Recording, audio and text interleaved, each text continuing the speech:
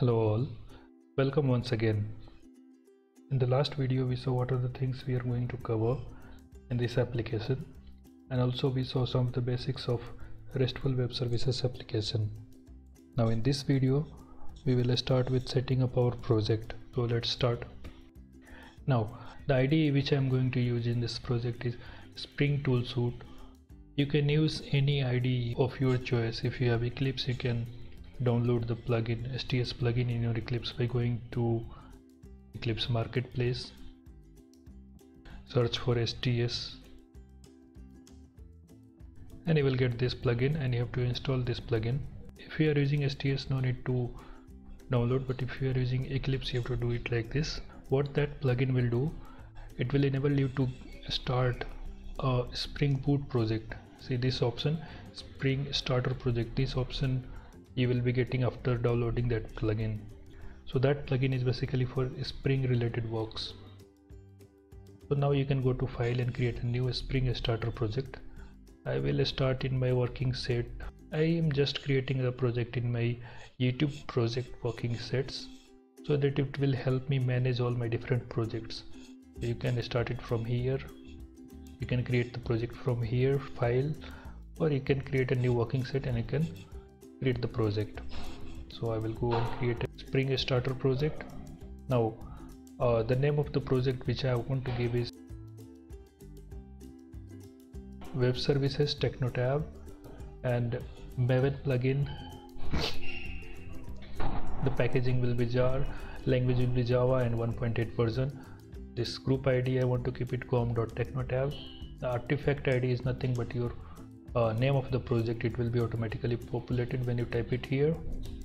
Web service techno tab. And the version will be what by default it will be this one. Let it be like that. Description you can give it anything and the package structure com.technotab.app this one you can give it as per your choice. Now when you click on next button it will ask you for selecting the dependency. So basically when spring boot project in the spring boot project you have to select certain dependencies and it will be downloaded from maven repository. So we are making a restful web services application. So we will need a web. So web is mandatory thing for restful web services application. Now next thing we want is devtools so devtools is basically when you make any change in the application the server need to be restarted for the changes to pick up. So devtool if you are keeping the devtools the devtools will restart the project for you when you are making any changes in your program. Now uh, we are going to use a in-memory database that is a H2 database. H2 database. It is an in-memory database. You can use oracle or you can use mysql whatever you are having. Now uh, we are going to connect our application with uh, database so we need a JPA and we need an actuator as well. We will see the work of it later point of time. Now let's click on next button and finish. So it will start downloading the dependencies from internet. It will take some time depending on the internet speed now this is the project which I got after creating. The project is having a boot and devtools annotation. Boot shows that it is a spring boot project and devtools because we have added the dependency devtools. Now let's see the project structure that we have got. We have got a default web service technotab application.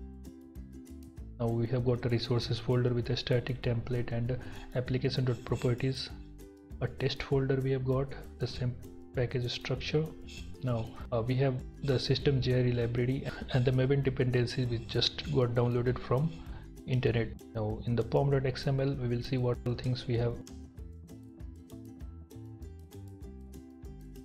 Now let's have a look into our pom.xml you can see that uh, spring boot starter parent. This is the spring boot version that we have got. Now these are the things which we entered in the beginning while creating the project and the dependencies which we have added present here actuator spring boot starter data jpa then starter web and devtools H2 database and the test. Let's see what we have got in the web services technotab application. In this we have a main method and we are having a run method which is running our web services technotab application dot class. It will run this class. Now if everything is working fine you will be able to run this project. Let's start by running the project. You go to run as and click on spring boot application. So in the console you can see